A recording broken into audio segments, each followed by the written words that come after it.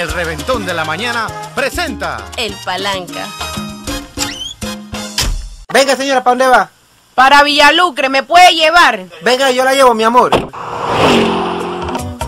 Oiga, este taxi está bonito. Ah, gracias, señora, la orden.